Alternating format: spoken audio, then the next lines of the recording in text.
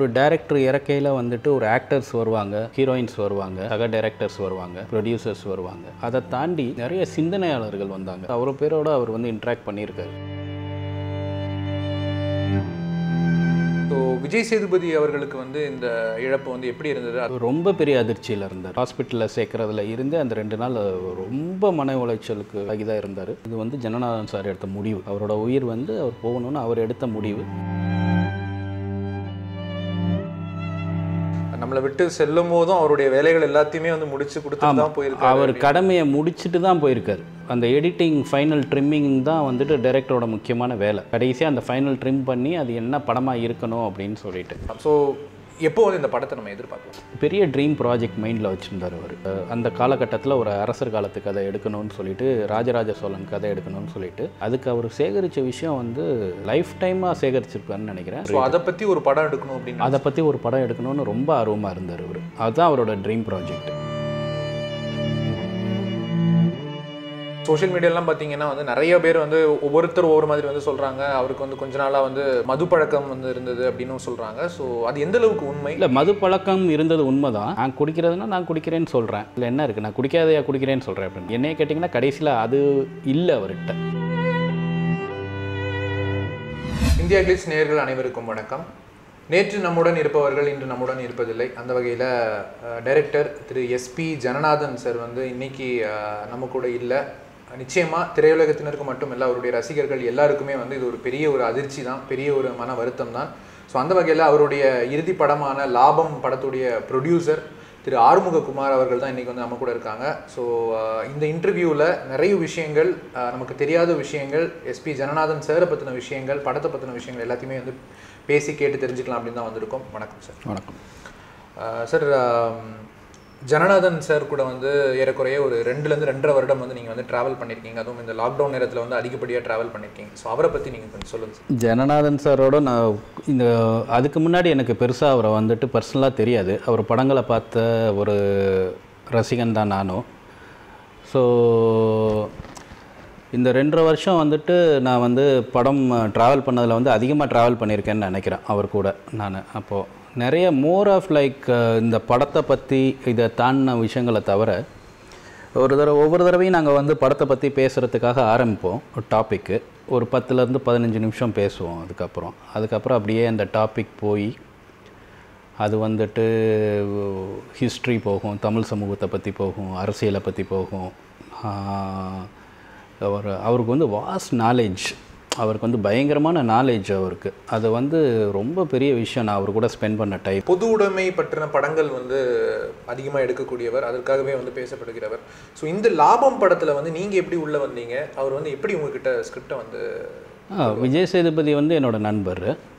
அப்போ விஜய் சேதுபதி வந்துட்டு அவரே ப்ரொடியூஸ் பண்ணணும் அப்படின்னு சொல்லிட்டு ஒரு முடிவுக்கு வந்தார். வரையில் வந்துட்டு அவருக்கு கம்பேட்டபிள் பர்சன் யார் அப்படின்னு சொல்லிட்டு அவர் வந்துட்டு பார்த்தார். அப்போது நாங்கள் எனக்கும் வந்துட்டு ஒற்றுமையான சிந்தனைகள் இருக்குது அவரோட. அப்போ சொன்னார் ஜனா சாரோட போய் பாருங்கள் அவர் ஒரு கதை சொல்கிறாரு ஒரு லைன் சொல்கிறாரு அவருக்கு படம் பண்ணணும்னு ஆசைப்பட்றோம். அது பண்ணால் நீங்கள் கொஞ்சம் பண்ணுங்கள் எனக்கு. நீங்களும் என் கூட சேர்ந்து பண்ணுங்கள் அப்படின்னு சொல்லிட்டு கேட்டார். அப்போ ஜனா சாரை போய் நான் மீட் பண்ணேன். எனக்கு அது வந்து ரொம்ப ஒரு ரொம்ப ஆர்வமாக தான் நான் மீட் பண்ணேன் போய். அவரோட பேசணுங்கிறதுக்காக தான் மீட் பண்ணேன். அப்போ அவர் சொன்னார் இந்த மாதிரி சார் ஒரு விவசாயத்தை பற்றின ஒரு சப்ஜெக்ட் இருக்குது அந்த சப்ஜெக்ட் தான் பண்ணலான்னு இருக்கோம். அப்படின்னு சொல்லிட்டு ஒரு லைன் வந்துட்டு இதுதான் நம்ம பண்ணணும். அப்படின்னு சொல்லிட்டு சொன்னார். அந்த விவசாயத்தை பற்றிட்டு சொல்கிறது ஒரு சப்ஜெக்டை தாண்டி அது எதை சொல்ல வர்றாரு அப்படின்னு சொல்லிட்டு எனக்கு ஒரு புரிதல் வந்தது அப்போது ஓகே இதுதான் பண்ண போகிறோம் அப்படின்னு சொன்னாங்க. ஸோ நான் விஜய் சேதுபதிட்ட சொன்னேன். சரி ஓகே நானும் சேர்ந்து பண்ணுறேன் ஓகே ஸோ ஜனநாதன் சாருடைய இந்த ஒரு இழப்பு வந்து ஏற்கனவே வந்து முன்னாடி வந்து யாருக்காவது ஏதாவது இல்லை கொஞ்சம் நோய்வாய்ப்பட்டு இருக்கிறார் இல்லை ஆஸ்பத்திரியில் இருக்கார் அந்த மாதிரியான அறிகுறிகள் ஏதாவது இருந்தால் இல்லை வந்து எந்த மாதிரியான ஒரு அதிர்ச்சியை கொடுத்தது உங்களுக்கு? இது அதிர்ச்சி தான். ரீசண்டாக ஒரு செவன் எயிட் மந்த்ஸாக வந்துட்டு அவர் ரொம்ப ஹெல்த்தியாக இருந்தார். அப்போ வந்து சேது கூட சொல்லுவார் விஜய் சொல்லுவார் ரொம்ப ஹெல்த்தியாக இருக்கீங்க கொஞ்சம் நல்லா இருக்கீங்க ஹாப்பியாக இருக்குது உங்களை பார்க்குறதுக்கு கொஞ்சம் ஃபேஸ்லாம் ஃப்ரெஷ்ஷாச்சு நல்லா இருந்தார் அவர். இது வந்து திடீர் மரணம் தான். இது வந்து உடல்நிலை வந்து முன்னாடியே வந்துட்டு உடலில் அவருக்கு கொஞ்சம் இது பிபி அது டேப்லெட்ஸ் எடுத்துகிட்டு இருந்தார் சுகர் டேப்லெட்ஸ் இன்சுலின்ஸ் அதெல்லாம் பண்ணிட்டு தான் இருந்தார். பட் மரணங்கிறது வந்து மிகப்பெரிய அதிர்ச்சி. அதுக்கான எந்த சாத்தியக்கூறுமே நாங்கள் பார்க்கல. இது நிகழும்னு நாங்கள் நினைக்கவும் இல்லை. இது வந்து மிகப்பெரிய அதிர்ச்சி. இது வந்து ரொம்ப சீக்கிரம் நடந்தது. நிச்சயமா அது ஆஹ், உங்க உங்க படக்குழுவினருக்கு மட்டும் இல்லை திரையுலகத்தினருக்கும் மக்களுக்குமே வந்து ஒரு பெரிய ஒரு அதிர்ச்சியும் ஒரு இழப்பும் அப்படின்னு தான் வந்து சொல்லலாம் ஸோ இப்போ இந்த ஒரு சூழ்நிலையில வந்து அவருடைய அந்த இறுதி ஊர்வலத்துல வந்து யாரெல்லாம் வந்து பங்கெடுத்துக்கிட்டாங்க? அதை அதை பத்தி கொஞ்சம் சொல்லுங்க. நிறைய பேர் வந்தாங்க. அவர் வெறும் சினிமா சம்மந்தப்பட்ட ஆட்கள் மட்டும் இல்லாமல் அரசியல் சம்மந்தப்பட்ட ஆட்கள் நிறைய வந்தாங்க. ஒரு ஒரு ஒரு டைரக்டர் இறக்கையில் வந்துட்டு ஒரு ஆக்டர்ஸ் வருவாங்க. ஹீரோயின்ஸ் வருவாங்க சக டைரக்டர்ஸ் வருவாங்க ப்ரொடியூசர்ஸ் வருவாங்க. அதை தாண்டி நிறைய சிந்தனையாளர்கள் வந்தாங்க. நிறைய அரசியல்வாதிகள்னு சொல்ல முடியாது அவங்கள அரசியல் சிந்தனைவாதிகள் சி- சிந்தனையாளர்கள். அது வந்து அவ்வளோ பேர் வந்துட்டு அவ்வளோ பேரோடு அவர் வந்து இன்ட்ராக்ட் பண்ணியிருக்காரு. ஓகே ஸோ uh, உங்களுடைய ரொம்ப ஒரு க்ளோஸ் ஃப்ரெண்ட் அப்படின்னு சொல்கிறீங்க விஜய் சேதுபதி அவர்கள். அண்ட் uh, ஒன்றாவே ட்ராவலும் பண்ணியிருக்கீங்க ஸோ விஜய் சேதுபதி அவர்களுக்கு வந்து இந்த இழப்பு வந்து எப்படி இருந்தது? அதை பற்றின ஏதாவது விஷயங்கள் உங்ககிட்ட பகிர்ந்துக்கிட்டாரா இல்லை அவர் வந்து ரொம்ப பெரிய அதிர்ச்சியில் இருந்தார். அவர் வந்து எனக்கு தெரிஞ்சு கடைசி வரைக்கும் அவர் மீண்டு வந்துடுவார் அதாவது ஒரு பத்து மணிக்கு இறக்குறாரு அவர். ஒம்பது ஐம்பத்தஞ்சு பத்து ஏழு மணிக்கு இறக்குறாரு. பத்து மணி வரைக்கும் அந்த உயிரை வந்து மீட்டெடு மீட்டெடுக்கிறதுக்கு வந்துட்டு அவர் போராடுறாரு. சயின்ஸை தாண்டி போராடுறாரு. இது வந்து சாத்தியம் இல்லை அப்படின்னு டாக்டர்ஸ் சொல்ல சொல்ல இல்லை வேறு ஏதாவது தெரப்பி கொடுப்போம் வர்மா தெரப்பி கொடுப்போம் ஆல்டர்னேட் மெடிசன் போவோம் எப்படியாவது வந்துடுவார் அப்படின்னு சொல்லிட்டு ஸோ அவரும் விஜய் சேதுபதி கூட இருந்தாருங்களா? கூட இருந்தாருன்னா அவர் ஃபோன்லேயே இருந்தார். அவர் படங்கள் நடிச்சிட்டு இருக்காரு ஏன்னா அவரோட டைம் அவர் கையில் இல்லை. அவர் அவருக்கான கமிட்மெண்ட்ஸ் வந்துட்டு இருக்க வேண்டிய அவர் இருக்கணும்னு ஆசைப்படுறாரு. ஆனால் இருக்க வேண்டிய சூழ்நிலையில் இல்லை அவர். ஆனால் வந்து எவ்ரி டைம் அப்டேட் வாங்கிக்கிட்டு இருக்காரு. ஃபோன் பண்ணுறாரு அதுக்கான விஷயங்கள் செஞ்சுக்கிட்டே இருக்காரு. அவர் கடைசி வரைக்கும் அதுக்கு முயற்சி பண்ணிகிட்டே இருக்காரு. இப்போ எனக்கு வந்து ஒரு முத நாள் நைட்டு வந்துட்டு ஒரு மாதிரி தெரியுது. ஆனால் அதை வந்து குடும்பத்தினரை தாண்டி அவங்களோட அசோசியேட் டைரக்டர்ஸ் அசிஸ்டன்ட் டைரக்டர்ஸ் எல்லாத்தையும் தாண்டி நண்பர்களை தாண்டி விஜய் சேதுபதிகிட்ட சொல்லையில் மட்டும் நான் எனக்கு ரொம்ப பயம் வருது. அவருக்கு ஏதாவது ஹர்ட் ஆயிடுவார் அவர் ரொம்ப இப்போ இதுவாக இருக்காரு அப்படின்னு சொல்லிட்டு ரொம்ப போராடினார். ரொம்ப மனசு உடஞ்சார். அதாவது எங்கே உடஞ்சாருன்னா அவர் மொத ஹாஸ்பிட்டலில் சேர்க்குறதுல இருந்து அந்த ரெண்டு நாள் ரொம்ப மன உளைச்சலுக்கு உள்ளாகி தான் இருந்தார். ஸோ அதுக்கப்புறம் அவர் அவர் இறந்ததுக்கு அப்புறமாக விஜய் சேதுபதி உங்ககிட்ட ஏதாவது பேசினாருங்களா? அவரை பற்றி பேசினார். நான் சொன்னேன். இது வந்து அந்த உயிர் போயிடுச்சு பிரிஞ்சிருச்சு. இது வந்து ஜனநாதன் சார் எடுத்த முடிவு. அவரோட உயிர் வந்து அவர் போகணும்னு அவர் எடுத்த முடிவு. ரொம்ப ரொம்ப வருத்தம் அது அந்த இறுதி ஊர்வலத்திலே வந்து பார்க்க முடிஞ்சது. இயக்குனர் ரஞ்சித் ஆகட்டும் அமீர் ஆகட்டும் விஜய் சேதுபதி அவர்களாகட்டும் அவர்கள் வந்து அழுத அந்த காட்சிகளும் வந்து பார்க்க முடிந்தது. ஸோ இந்த ஒரு லாபம் படம் வந்து இப்போ ஜனநாதன் சார் வந்து நம்ம கூட இல்லை அவரோட லாஸ்ட் மூவியாக தான் வந்து இருக்க போகுது. ஸோ இந்த படம் வந்து அடுத்து வந்து எப்படி வந்து டிராவல் பண்ண போகுது? இதை வந்து யார் வந்து மக்கள்கிட்ட கொண்டு சேர்க்க போகிறாங்க இல்லை இது ஒரு டீம் ஒர்க்கு தான் இதுக்கு மேலே. அப்புறம் இன்னொரு முக்கியமான விஷயம் என்னென்னா இது ஜனநாதன் சார் வந்து அவரோட கடமையை முடிச்சிட்டார். அவரோட படத்தை எடுத்துட்டார். அவர் படம் தான் இது. இதுக்கு மேலே வந்து டெக்னிக்கல் ஒர்க்ஸ் தான். இது வந்து ஒரு ஆர்ஆர் முடிக்கிற வேலை இந்த மாதிரி ஒரு இறுதிக்கட்ட டப்பிங் விஜய் சேதுபதி மட்டும் ஒரு ரெண்டு ரீல் பேச வேண்டியது இருக்குது அந்த மாதிரியான வேலைகள் தான். அந்த ட்ரிம்மிங் வேலையை வந்துட்டு ஜனநாதனே முடிச்சிட்டு தான் அவர் வந்து போனார். ஜனநாதன் சார் வந்துட்டு அவரோட வேலையை முடிச்சிட்டார். நான் என்ன அவர் சொல்ல நினைக்கணும் அப்படின்னு அவர் நினச்சாரோ அதை சொல்லி முடிச்சிட்டார். இனி வந்து இதை ஒரு ப்ரோ ஒரு ஒரு ஒரு ரிலீஸ் பண்ணுற வேலை தான் எங்களோட வேலை. அது அதுக்கான திட்டங்களும் அவர் வந்துட்டு அந்த பேப்பர் கூட அதை வந்துட்டு திட்டமாக வந்துட்டு சொல்லி வச்சுட்டு தான் போயிருக்காரு. எந்த நேரத்தில் என்ன வேலை நடக்கணும் எது எப்படி நடக்கணும்னு சொல்லிட்டு. ஸோ இது வந்து நாங்கள் எல்லாரும் சேர்ந்து தான் பண்ண போகிறோம் ஆனால் வந்து அவர் அவர் பண்ண வேலையை தான் முடிக்க போகிறோம் அவ்வளோதான் ஒரு அவர் அவர் முடிச்சு வச்ச வேலையை ரிலீஸ் பண்ண போகிறோம் ஒரு ஒரு ப்ரொடியூசராக வந்து உங்களுடைய டைரக்டர் வந்து அவர் நம்மளை விட்டு செல்லும் போதும் அவருடைய வேலைகள் எல்லாத்தையுமே வந்து முடிச்சு கொடுத்துட்டு தான் போயிருக்காரு. அவர் கடமையை முடிச்சுட்டு தான் போயிருக்காரு.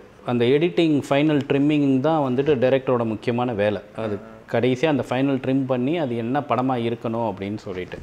மித்ததெல்லாம் அதுக்குள்ளே இருக்கும். அந்த படத்துக்குள்ளே இருக்கும். அந்த ட்ரிம்மிங் வரைக்கும் அவர் முடிச்சுட்டு அவர் அவர் வேலை முடிஞ்சிருச்சு. அவர் வேலையை முடிச்சிட்டு தான் போயிருக்காரு. ஸோ எப்போ வந்து இந்த படத்தை நம்ம எதிர்பார்க்கலாம்?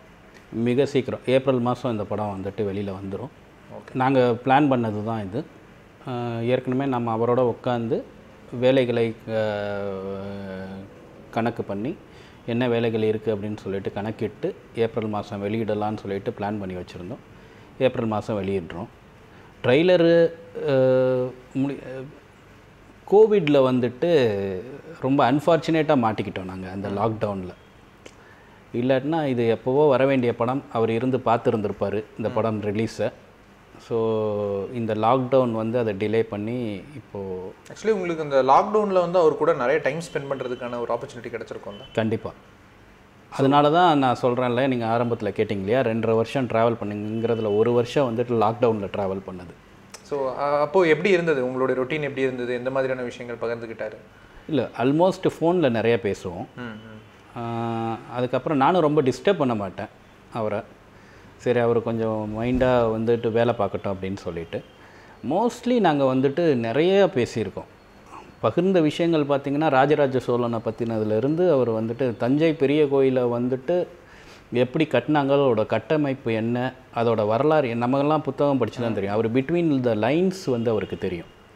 புக்கில் படிக்கிறதுல பிட்வீன் த லைன்ஸில் என்ன ஆகி ஆயிருக்கும்னு யூகிக்கக்கூடிய சக்தி வந்துட்டு அவருக்கு இருக்குது அந்த சக்தினா அது ஒரு நாலேஜ் அது.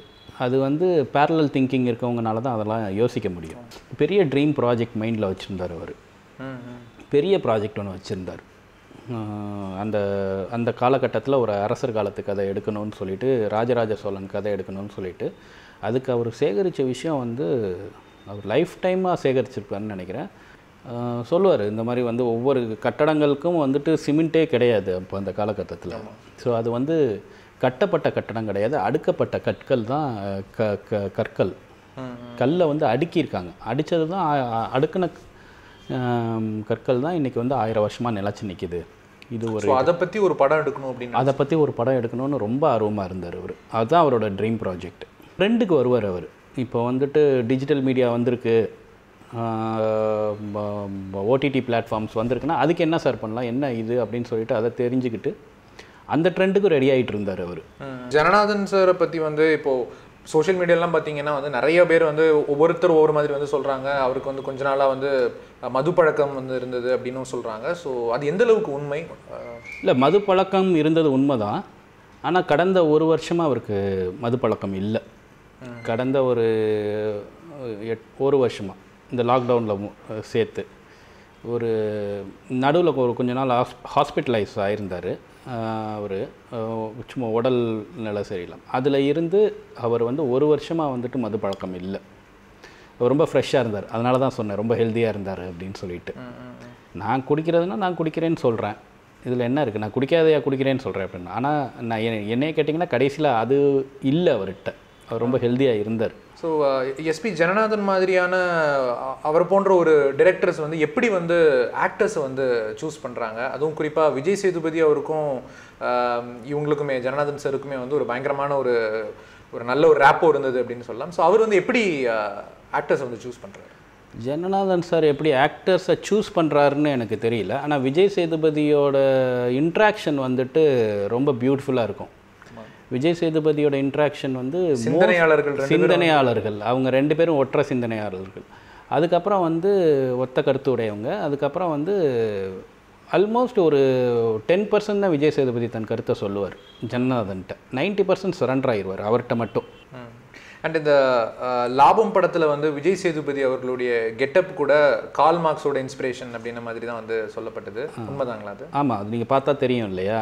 அது வந்து கால் மார்க்ஸோட இன்ஸ்பிரேஷன் கோயின்சிடென்ட்லி வந்து ரெண்டு பேரும் வந்து நினைவு நாள் வந்து ரெண்டு பேருக்கும் கால் மார்க்ஸுக்கும் திரு ஜனநாதன் சருக்கும் வந்து ஒரே நாள் தான் ஆமாம் அது ரொம்ப ஆச்சரியமான ஒரு விஷயம். ஏன்னா அவர் ஹாஸ்பிட்டலைஸ் ஆகி ரெண்டு நாள் ஆயிடுச்சு.